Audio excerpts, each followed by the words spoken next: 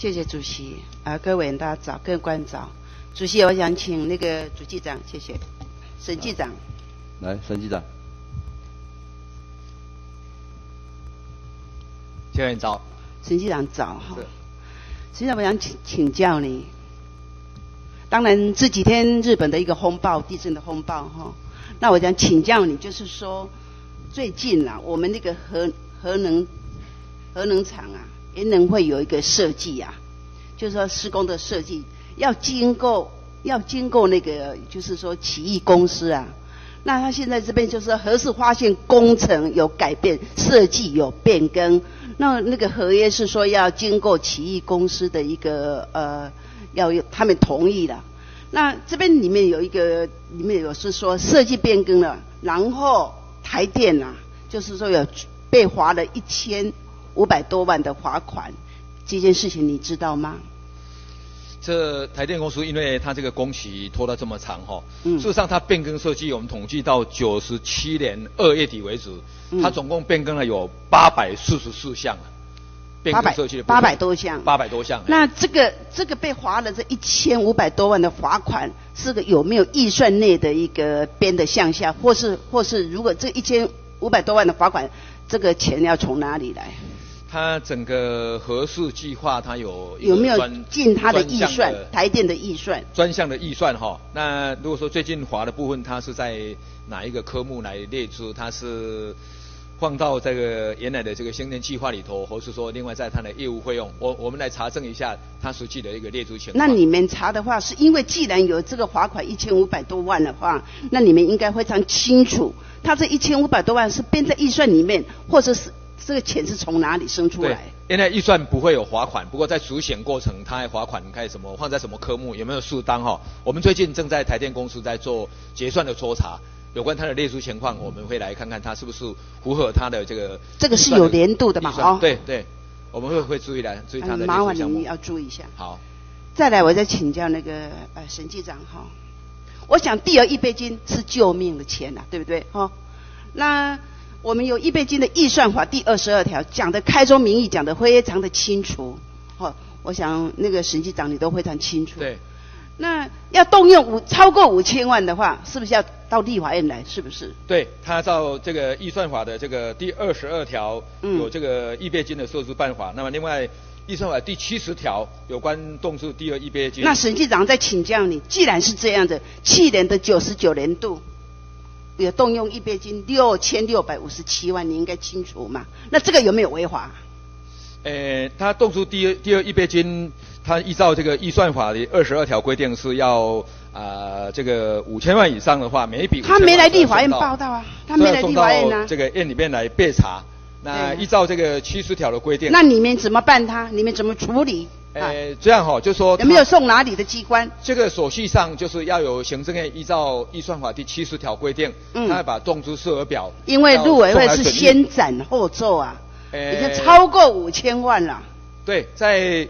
在这个动资预备金，除了那有没有向你审计部提出动资计划说明？有没有？这个行政院他核定以后哦，他那如果是没有的话，那那个审计长那就是国内的一个一个一个监助喽。哦。既然没有到你这边，也没有到立法院，那陆委会就是把我们这六千。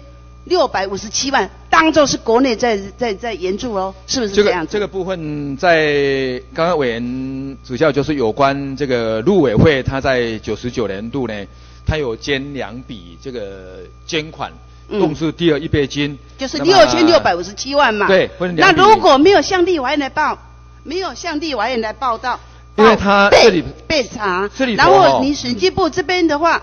你应该要有一个明确的处理呀。那如果没有的话，那这个等同就是国内的援助嘛，是不是这样子？不是，不是这样。他好，他这样就是说，照预算法第那没有的话，先斩后奏。那那陆委会是何等的伟大的单位啊？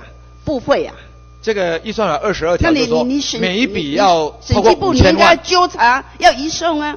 这里头等于是有一个事前跟事后一一案来报备哈。二十二条就说，每一笔如果说超过五千万的话呢？他这个动作的时候，他要送到这个院里面来备查。那不到五千万的话，就是等到年度终了的时候，就六六五七就五千万嘛。预算法这个七十条的规定哈，嗯，他来送出这个归属科目这个术后，他是术后来你编辑这个动数课表送到立法院来审理。然后我再，所以他要做这个看金额大小做这个陈局长，我再请教你，是，因为礼拜五的一个日本的一个地震风暴，然后马总统啊，马英九啊，他是说有要援助，对，援助那个日本一亿嘛，对不对？对。那这个是用什么用什么专案？是的，这个这个名词是什么名词？我想在这个我们国家目前这个也这个名词是什么名词？先进国家哈，那那这个对一些友邦国家也好，或是世界各国有什么重大灾害，那么国内都发挥这种这个轮逆己力的这个精神，看我们的财务状况来援助。所以包括这个就是什么名词嘛？那个审计长，我在请教你啊。对。是什么名词？马英九是用什么名词？是国际事务金额专案，还是什么名词？也给友邦的援助，那么要看他的性质。像说以刚刚委员主选的，我们就是因为在陆委会他没有编列这个专项预算，所以他就照这个预算法的规定来动出两笔第二预备金。我在我在请教你是说马英九一亿的兼兼那个日本啊，他的一个风暴嘛，地震风暴嘛，那援助。那是用什么名词？是国际事务金额专案还是什么专案？应该有个名词嘛。这个部分我手上还没有资料，我看报纸是说我们政府要提高这个。那你没有资料，你你那书面答复我好不好？好，可以可以。再来那个那个审计长，我再请教你。是。我想为什么这个是这个是有经过那个那个苹果日报有民调的是是是。就是说为什么人民反对公务员加薪？台湾我们台湾小老百姓是加税。你你这个他这个民调你看过了没？民调我就是不赞成的话，有占了五十几个百分点，赞成的是几个百分点，因为有金公教八十万的金公教，你知道这一点那个民调你知道吗？是，我想这个公务员这个对你来讲是应该是这个私信你应该有的，你你身为一个公务员加薪哈，在我们大院也好，还监察院或者社会各界都有呼吁啊，就是说公务员好几年没有加薪。那目前政府的财务状况、经济状况是公务员加薪有一个条件嘛？对，公务员加薪如果加了三趴，等同于就是两两百一十亿或两百二十亿，那个小老百姓要税的税收要付出去的，你知道吗？诶，我我报纸上我看那个代表是说我们今去年前年九八九九年，就是说我们的税收是非常的棒，所以要加薪，是不是这样？事实上在九八九九哈。因为这个国际金融风暴，还是用几债来加我们的税收都比原来预算有短缩的情况。在九十八年跟九十九年，九十八年短缩比较多，那到九十九年也有几百亿的短缩。因为你，我跟你讲，你要加薪，你有基础啊，你没有基础，你凭什么加薪？对不对？还是要挤债来来来加薪？这个你有那个你的看法吗？我我想再来，我再我再来，我再跟那个审计长讲。对。主计处有统计呀，去年国人的名目薪水的名目才四万四千多块啊！我想金融海啸前，就是说相较于比较金融海啸这一段时间，如果是说我们增加的，就是一些小老百姓了，一些所有私人机构了，加薪给他两扣。我跟你讲，买一罐吼养乐多了，牛奶都还来不及了，都不够了，你知道吗？你听清楚吗？实际上有有。那既然是一，既然是这样，然然后这段时间扣掉一些物价啦，实际的薪资啊，不如十二年前呢。全台湾的老百姓啊，这一些劳工阶级呀，这些生意人的一些小小小小公司行号啊，那个薪水不如十二年前，你知道吗？因为为什么？因为他的薪资来不及赶不上这个物价的上涨啊，这个是台湾人民多么可悲的事情啊！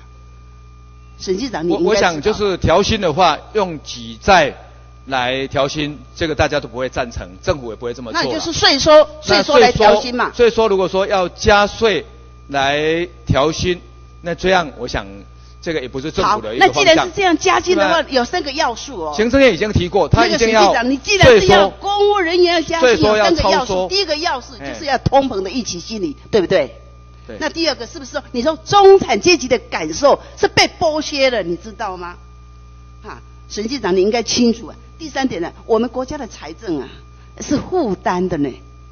那为什么呢？我想最快也是行政院目前在考考量的方向。嗯，那个行政吴院长他几处都宣示说，一定要看这个税收。我想你公务人员的调薪的效益，你们都会有一点有应该有慎重的一个考量跟评估啊。那那既然很清楚的话，就是很多东西就是有有一个通膨的预期心理都来了。对，是不是？是不是？这个部分行政院就是照这个方向，要看国家的财政状况。那么，在一个税收已经增收，然后这个经济情况好转，在这个时候才有考虑。你既然这样讲的话，我们都到到今年二月底截止啊。我们中央政府长期、短期，我们的负债是四点八八兆，对不对？月增一个月，一个月就七百亿呀。我想我们每一个人老百姓的负担是二十一万多啊。二十几万。哎，啊，月增一个人一个月负担给三千块，那情何以堪？我们的政府财政是这样子，那你应该好好的是说要挤债，还是排挤其他的施政项目，呃，动用第二亿备金，是不是这样子？呃，我想在挤债，依照预算的规定，第一个他要拓列预算，一定要经过这个预算程序。那你第二亿备金额度不多啊？第二亿倍金额度也不多啊？你要加薪的话，两百多亿呀，那你到底要怎么办？这个部分行政院它有全套的配套措施，那么那个诶。应该由行政院依照相关的预算法规定来。那主席长，你既然这样讲，我再听你一句话。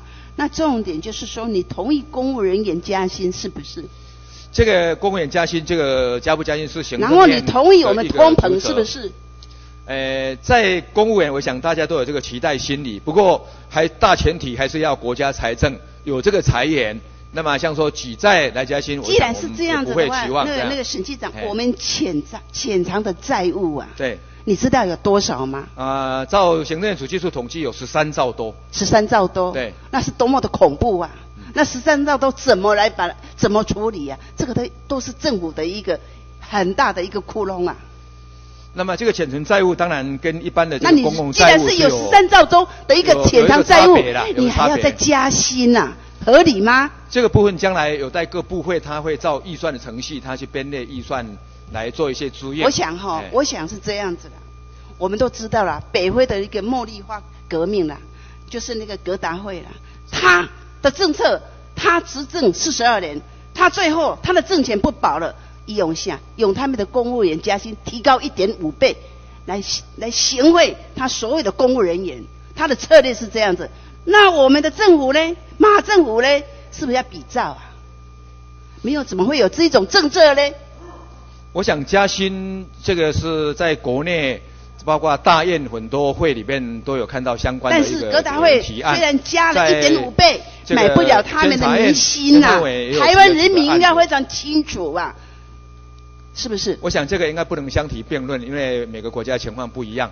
目前国内呢，如果说经济好转，那税收也超收的话，我跟你讲啦，公务人员进公教有八十万人，有八十万人呐，来巩固他的那个政权呐，这个是马政府的政策了。台湾人民的血汗钱，是真正是负责负责三条，还要再加薪。我想，沈局长你要多好好的考量啊，谢谢。